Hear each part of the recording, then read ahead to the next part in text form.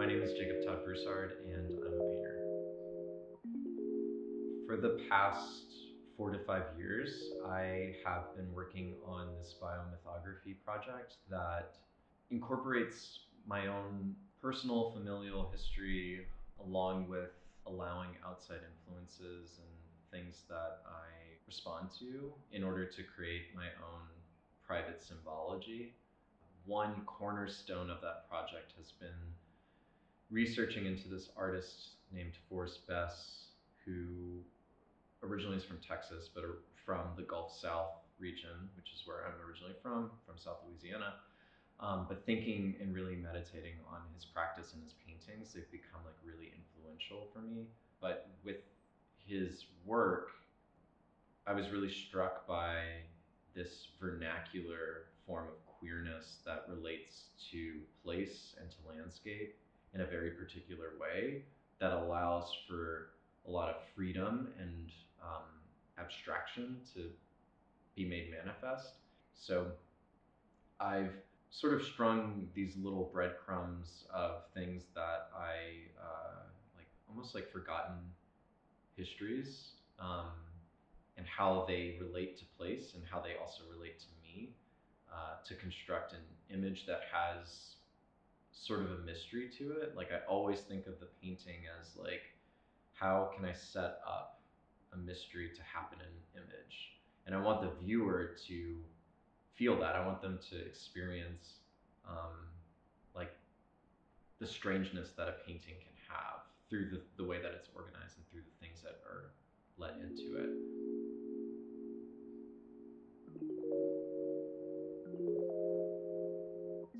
Have certain rituals that I incorporate in order to get my brain clicking. So if it's something like looking at a lot of images, then I start thinking about the role of the image and what an image can do.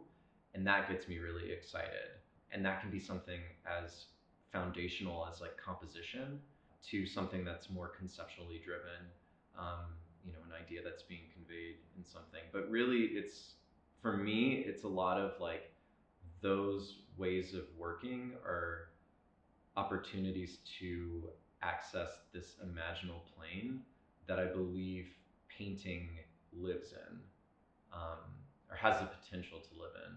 So, what are the things that sort of, what are the breadcrumbs that I can lay to lead me to that moment in order for that to sort of hit, for that to happen in the painting? For me, drawing and painting are interchangeable and inform one another because the drawing works as a foundation for the painting. So I will make a drawing that is very immediate, uh, very improvisational, and it will give me just the framework, just enough to then jump into the painting because I'm not having to worry about materiality and color. I'm just working with the foundations of drawing but leaving it open enough for improvisation to happen for the painting. So drawing almost sets up the painting for me. There's this idea that you make art and then you take that art and you apply it to something, but what if you allowed the art to lead you to the thing that you're supposed to arrive at, the place that you're supposed to arrive at? So it's almost, for me, it's like can the art become the target more than the arrow? You know, can you build out a little corner of something for yourself and just trust it?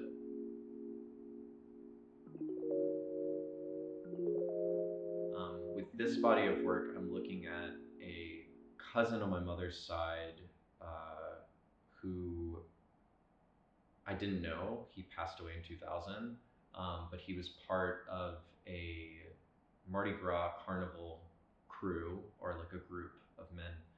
Um, this is the Mystic Krewe of Apollo. It's one of the oldest, longest running gay crews in South Louisiana, um, and it's based in Lafayette, Louisiana. And he was a member of this crew. Now, I didn't know him, I didn't really know anything about him, but when I decided to come back to South Louisiana for the spring and to do this residency, I started thinking about him and thinking about like what's legacy. You know, what is what is this person who I have virtually no access to, but I know was part of this thing. Um, how do I relate to this person? And is there room for me to like understand him through the limited resources that I have about him? The difference between an artist and a historian is a historian is tied to some sort of factual reporting, whereas an artist you're able to do more invention and incorporate feeling into something. Um, and for and myth making, that's kind of what it is. And thinking about, you know, can we fill in the gaps where there are gaps in the archive? And for me, this cousin, his name is Gene. There's a huge gap, but then there's like all this opportunity for me to invent and sort of project and think about him, myself, place all onto this person. I think I'm more interested actually in being and becoming. I think those are more generous because they imply like something that you haven't arrived to yet.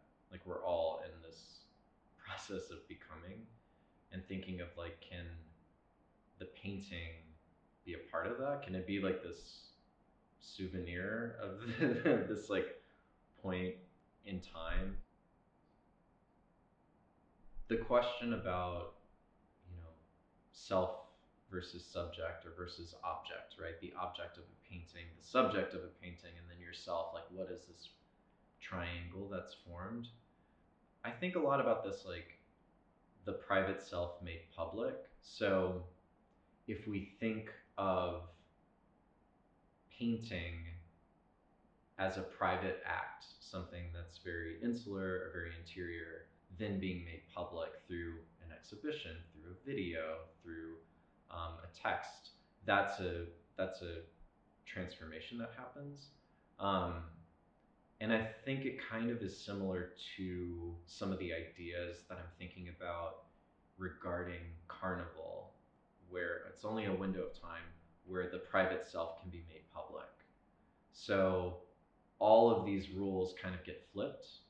The man can become the woman, the peasant can become the king, uh, the fool can become the wise elder. Like everything gets flipped, um, and the private private interiority of the self is then allowed to be made public, which I think is like really interesting and almost parallels a little bit of painting because I do think of painting as a really private act. I mean, it can be public, but personally, I long for my solitude and my privacy.